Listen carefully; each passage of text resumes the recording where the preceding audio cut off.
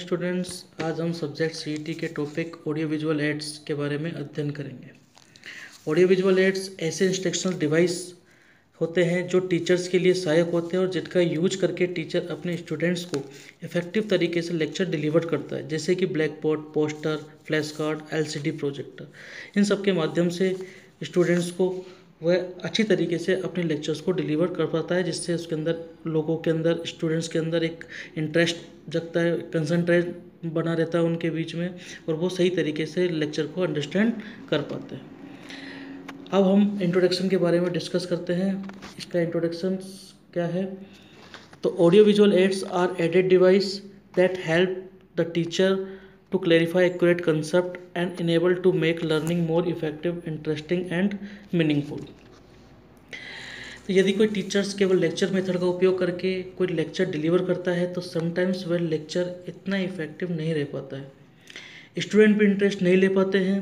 अब यदि हम इंस्ट्रक्शनल डिवाइस जैसे कि black board poster LCD projector का यूज़ कर करे यूज़ करके लेक्चर डिलीवर करते हैं तो वो लेक्चर बहुत इफ़ेक्टिव रूप से इंटरेस्टिंग और मीनिंगफुल बन जाता है। और टीचर्स को सहायता मिलती है कि वो अपने सारे कंसेप्ट को एक्यूरेट तरीके से क्लेरिफाई कर सके।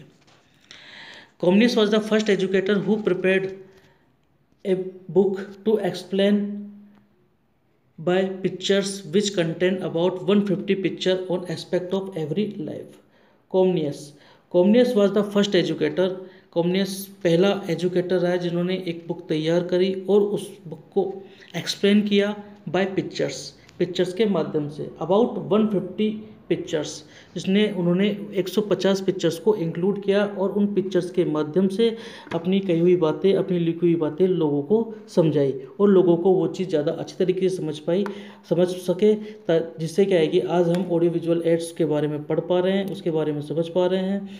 आज हम black board chart poster flash card आदि का उपयोग हम कर पाते हैं। और लेटेस्ट आजकल हम क्या है कि एलसीडी प्रोजेक्टर का ज़्यादातर यूज़ कर पाते हैं, जिससे स्टूडेंट सही तरीके से उस चीज़ को समझ पाते हैं और लेक्चर को अंडरस्टैंड कर पाते हैं।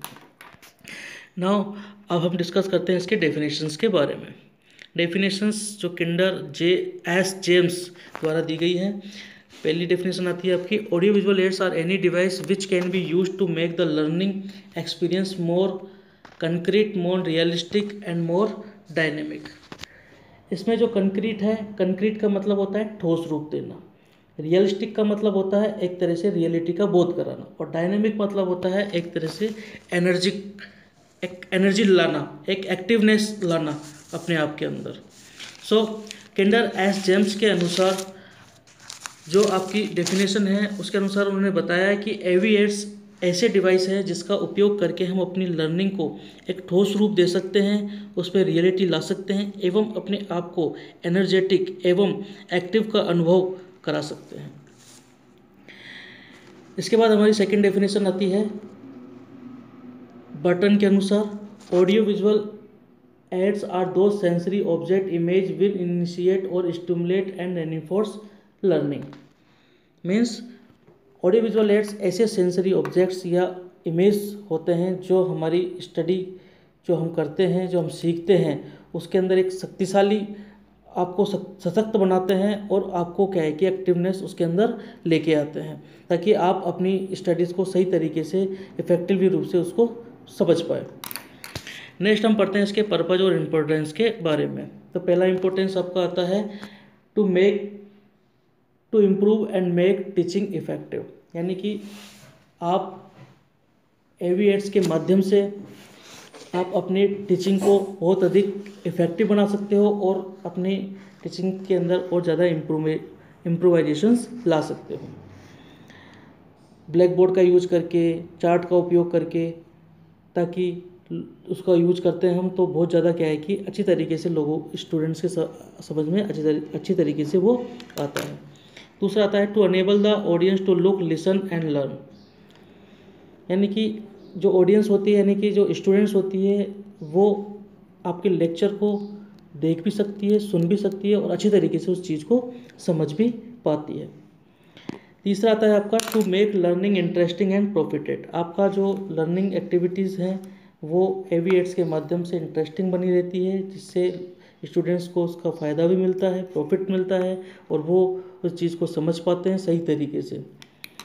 To increase attention and concentration students के बीच में अटेंशन आता है कंसंट्रेट होते हैं वो उस चीज़ के लिए, ध्यानपूर्वक उस चीज़ को पढ़ते हैं और समझते हैं। To enable the students to learn faster to remember for long duration students के बीच में लर्निंग की जो कैपेसिटी है, वो एक फास्ट हो जाती है। यानी कि वो और तेज़ी से क्या है कि उस चीज़ को सीख पाते हैं और लंबे समय तक वो चीज़ उनको याद रह पाती है। यदि हम कोई वीडियोस या फ़िल्म वगैरह के कोई डायलॉग वगैरह हम देखते हैं, उसको हम देख करके सुन करके क्या है कि याद करते हैं तो याद हमको ऑटोमेटिक हो जाता है वो और तेज़ी से याद होता है और लंबे समय तक हमको याद रहता है।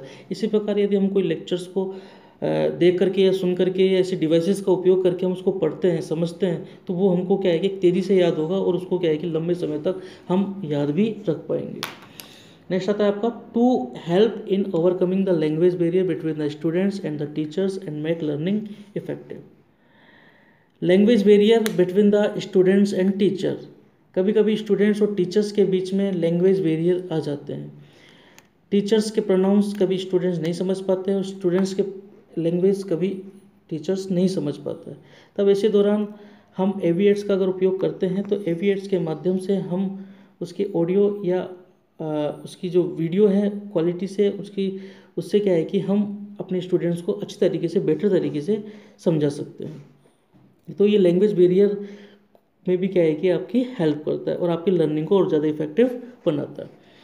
नेक्स्ट आता है to provide opportunity situation type of learning field trip ये हमको एक प्रकार से अपॉर्चुनिटी भी देता है कि हम उस सिचुएशन में जा कर के अपनी लर्निंग कर सकें। जैसे कि फ़ील्ड ट्रिप के माध्यम से। फ़ील्ड ट्रिप मतलब फ़ील्ड में जा कर के हम चीज़ों का अध्ययन करना। जैसे कि अगर हम किसी लीफ के बारे में या किसी नीम के पत्ते के बारे में हमको जानकारी चाहिए होती है उनको हम उसका लेक्चर दे रहे हैं क्लास के अंदर उसको पढ़ा रहे हैं बच्चों को कि लीफ की जो, नीम की जो पत्ती होती है, उसके गुण कैसे होते हैं, उसकी बनावट कैसी होती है, उसकी संरचना कैसी होती है तो उसको क्या है कि हम इफेक्टिवली रूप से वहाँ पर नहीं समझा सकते क्लासरूम के अंदर। यदि हम उसको ले जाकर के किसी फ़ील्ड में जाकर, किसी नीम के पेड़ के पास ले जाकर उसको रियलिटी में उस पत्ती के साथ हम उसको लेक्चर दें हम उसको बताएँ तो वो और ज़्यादा उस चीज़ को अच्छी तरीके से सही समझ पाता है।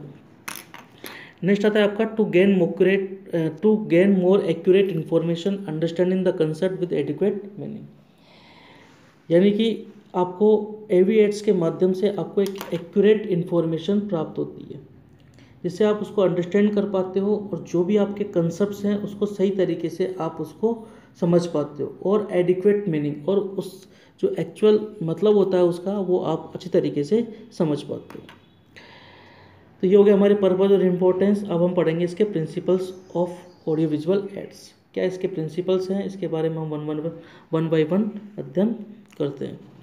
तो पहला प्रिंसिपल आता है आपका they should be meaningful and purposeful आपका जो ऑडियो विजुअल एड्स है, वो शुड बी मीनिंगफुल और पर्पजफुल होना चाहिए। यानी कि उसका कोई पर्पज होना चाहिए, कुछ मतलब होना चाहिए। यानी कि आप जो लेक्चर डिलीवर कर रहे हो, वो लोग बच्चों को या स्टूडेंट्स को क्या है कि समझ में आना चाहिए।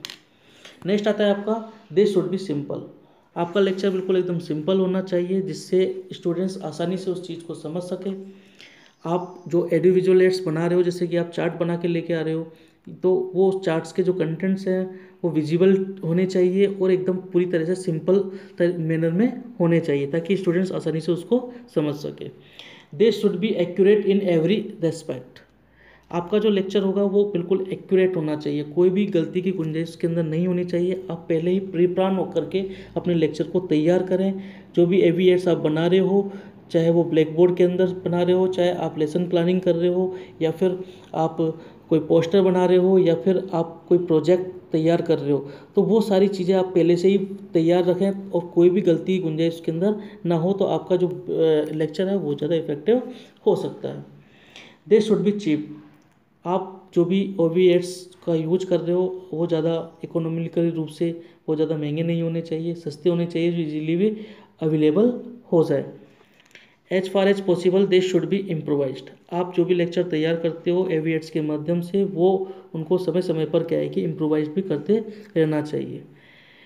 अपडेट करते रहना चाहिए। नेक्स्ट आता है आपका they should be larger enough to properly seen by students आपका जो एविएट्स है, वो इतना लार्जर होना चाहिए कि स्टूडेंट्स को प्रॉपरली तरीके से उस चीज़ को देख सकें। यानी कि अगर आप ब्लैक बोर्ड का यूज़ कर रहे हैं तो इतना ब्लैक बोर्ड आपका बड़ा होना चाहिए इतना लार्जर होना चाहिए कि स्टूडेंट्स जितने भी आपके हैं वो सारे उस चीज़ उसको उस, उस ब्लैक बोर्ड को देख सकें। या फिर आप अगर प्रोजेक्टर स्क्रीन का उपयोग कर रहे हो या एलसीडी प्रोजेक्टर का उपयोग करते हो आप जो स्क्रीन है वो उतनी लार्जर रखनी है आपको कि सारे स्टूडेंट्स के लिए वो विजिबल हो सके।